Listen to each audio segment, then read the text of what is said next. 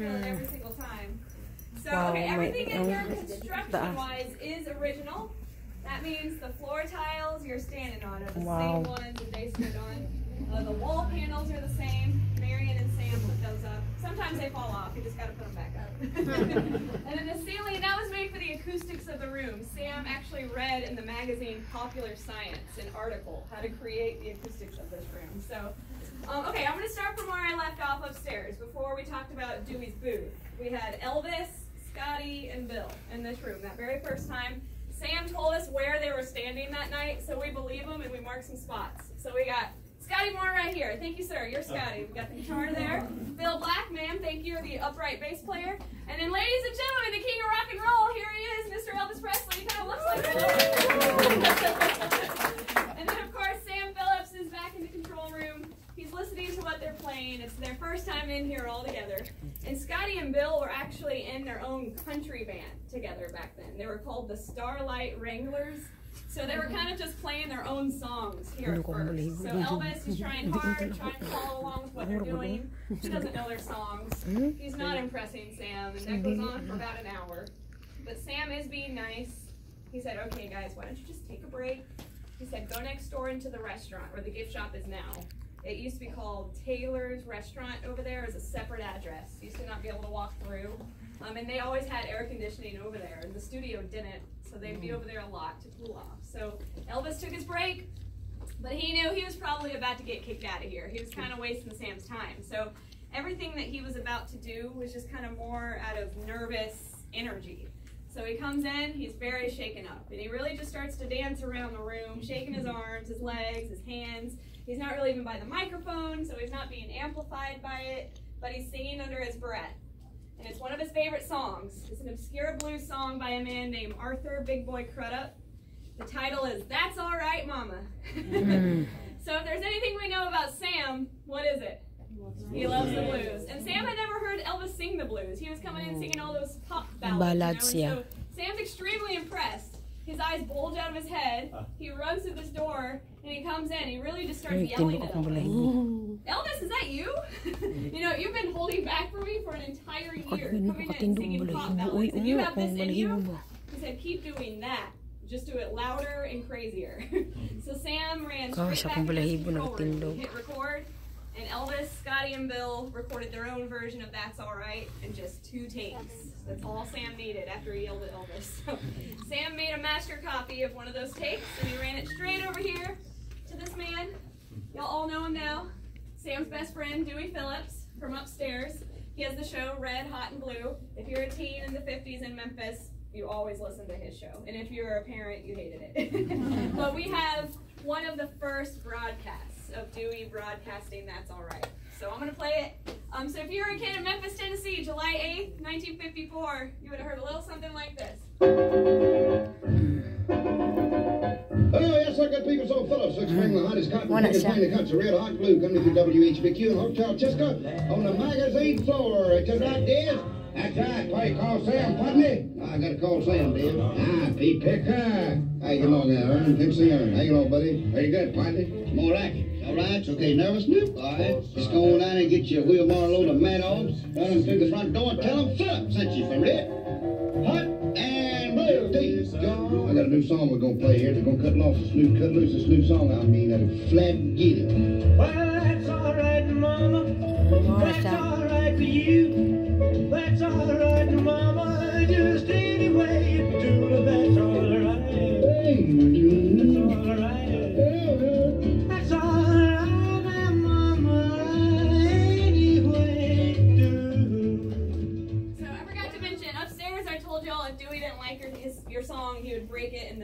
But I forgot to tell you if Dewey likes your song in the middle of it, he would try to sing along. So No. Smokes and were there. So Dewey, he obviously loves it. The kids love it. They kind of just keep requesting it. So Dewey ends up playing it 14 times on his two and a half hour radio show. Wow. Unheard of. So mm-hmm. Sam knows this is huge. This never happens. So all he did was just the next day he brought Elvis right next door into the cafe and he signed him to a three-year Mm. contract here with Sun. So having that fast. So you're 19 years old. One day you're a delivery truck driver. The next day, you're a signed recording artist. Your dreams are coming true. So Elvis came back in here. He started to record songs for Sam the way that Sam liked. The songs are becoming huge around town, around the region. Um, Elvis, Scotty, and Bill ended up putting out five records on the Sun label, all double-sided, so 10 actual songs here.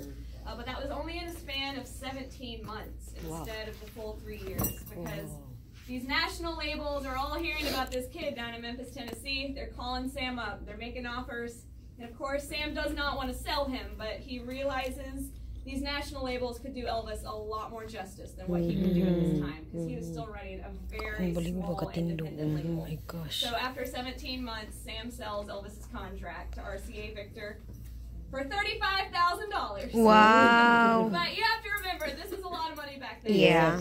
It was actually the most amount paid for a single recording artist at that Wow. time.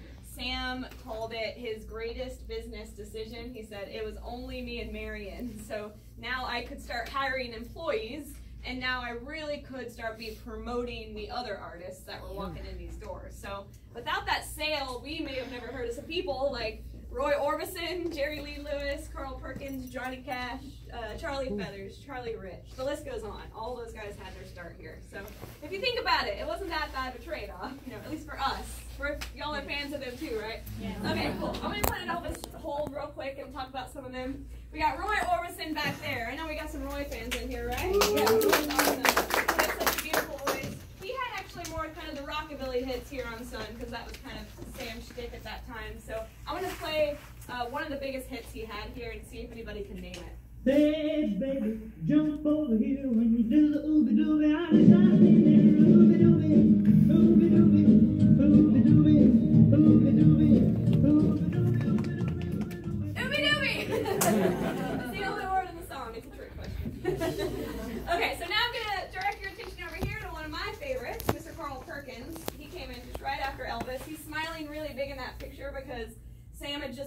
Brand new Cadillac for selling the very first gold record for the Sun mm-hmm. label, which was a million copies back then. So that's a huge deal for a label just starting out. And I know mm-hmm. somebody in here knows the name of that song. You want to yell it out for me? Blue Suede Shoes. That's right, Blue Suede Shoes. Mm-hmm. Yeah, Carl Perkins, he wrote Blue Suede Shoes, and he performed it first. He actually had a bigger hit with it than Elvis did in those days. And that song, his version, became a really big deal because it was the very first song ever to top the pop, country, and rhythm and blues charts all at the exact same time. So I'm gonna play all of Carl's version because he's awesome. Well, it's one for the money, Oh. two for the show, three to get ready. Now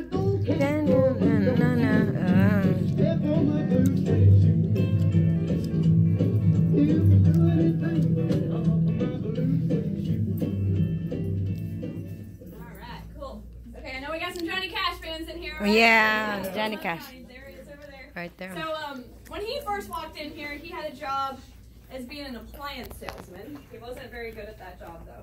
The entire time he worked for the home equipment company in Memphis, Tennessee, he sold one appliance, and it gets Hmm. worse. It was sold to Marion.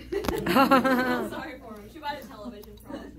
Um, but luckily, he's a much better musician, and he had the most consecutive hits here for the Sun label with songs like Cry, Cry, Cry, Hey Porter, Get Rhythm, Folsom Prison, Big River, I Walk the Line, all I walk that the right here line. in this room. Mm-hmm. Muna And I'm going to show you guys a really cool trick that Johnny did when he first came in here. He also did not have a drummer in his band in the early, early, early days. So when he started to book live shows, he got creative.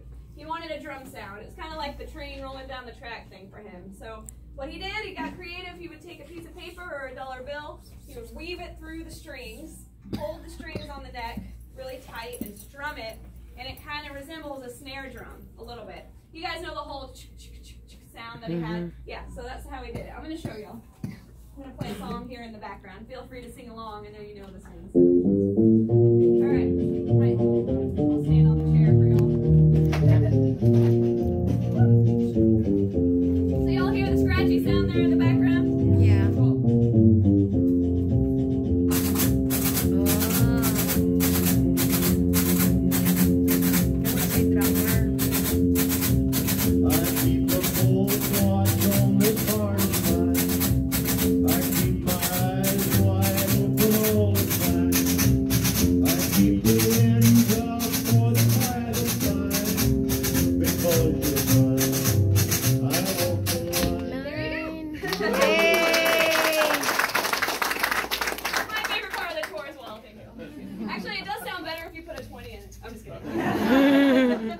Okay, so now I'm going to direct your attention over here to the really big picture, which a lot of you probably know a lot about because this day mm -hmm. was turned into a Broadway play. It's called Million Dollar Quartet. But the picture was taken on December 4th, 1956. We got Elvis at the piano, Johnny Cash behind him, Carl Perkins is in the middle, and Jerry Lee Lewis is on the left.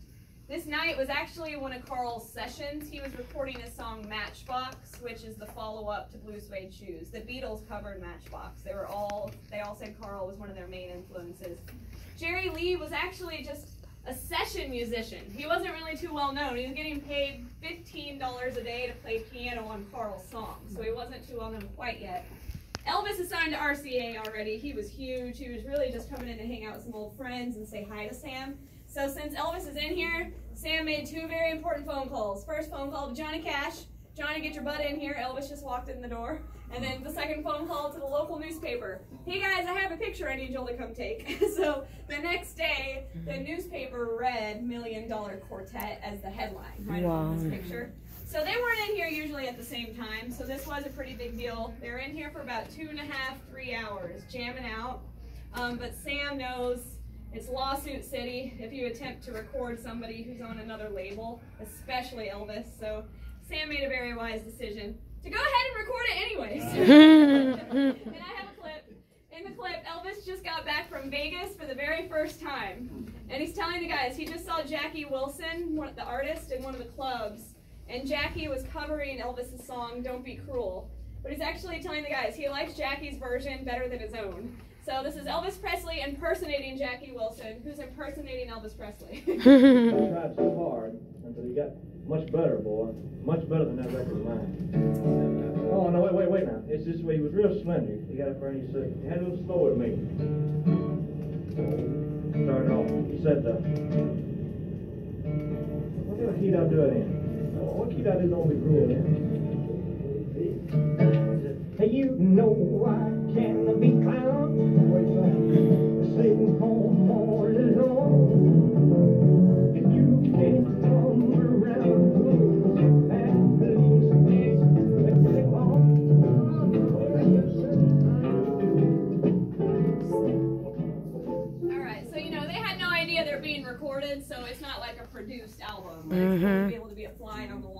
get to hear what they were talking about.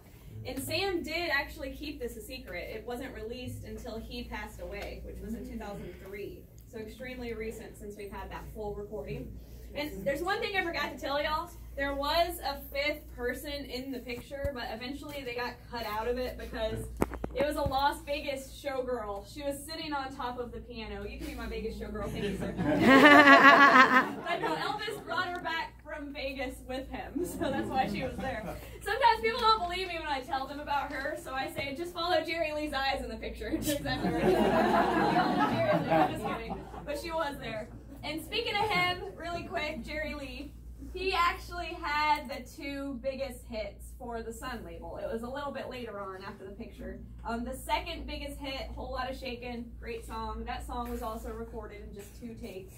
And then the biggest hit here for Sun, goodness gracious, Great Balls of Fire. But that song was recorded in 42 takes. I've heard the outtakes. He's extremely intoxicated. uh, but this is take 42, the one they kept right here.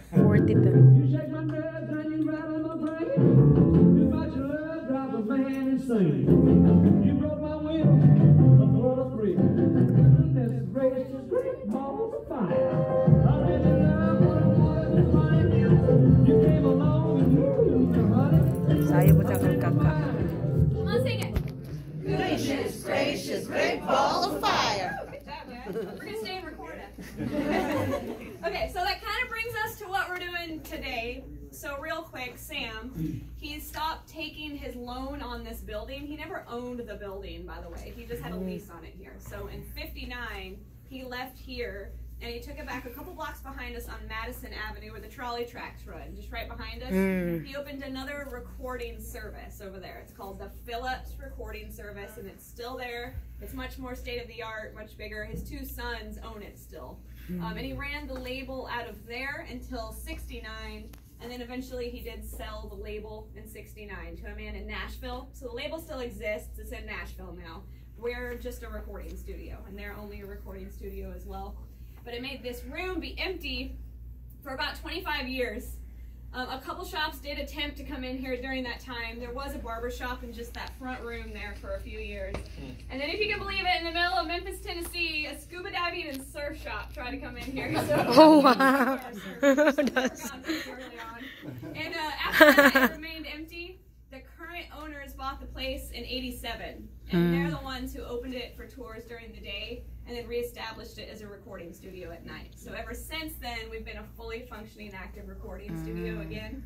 And um, I'm going to name a few of the artists that have been in here. We got Beck, Liz Phair, The Stray Cats, Tom Petty, John Mellencamp, Chris Isaak, Def Leppard, Paul Simon, Maroon 5, Wow. uh, U2. They were Oh, sort of wow. in here. They had a, a few of their songs off of Rattle and Hum, their album. We're down in here. The blue drum set was theirs. They actually left them here. They said they'd be back, but they were here in 87. I don't think they're going back. So that is almost the end of the tour. There's one more thing really quick. I've been kind of hiding it from you guys. It's right behind you, sir. I'm just going to grab it and then I'll go right back in my spot. Thank you. You didn't know you were blocking it, didn't you? okay. He did know. That's right. Okay, so right here, That's the mic. here she mm-hmm. is. This is a Shure 55 microphone. And this one was one of the five session microphones that Sam had in his possession in the 50s. He only had five in the 50s. This one's very special because this one is the vocal mic. So that means every one of these guys that I just talked about, including Elvis, Johnny, Carl, Roy, Jerry Lee, B.B. King, Howlin' Wolf, they all sang straight into this exact microphone. Oh, yeah. Sam, he gave it to us just right before he passed away, which was in 2003 is when he passed. He knew we were giving tours here. He had a very big part. He wanted to make sure we got it right. So this is his gift to each and every one of you guys. And this is what he said. I want them to be able to come in here and you know, hold it and caress it and pose like Elvis with it. he just asked for it to never be behind glass. So that's how we're honoring Sam. Yeah. So um, I do give y'all a few rules. Number one, don't take it. and then number two is kind of more an observation or a warning. Uh, Elvis's DNA is not in this anymore, so my suggestion is to not kiss it. It's just other people's DNA.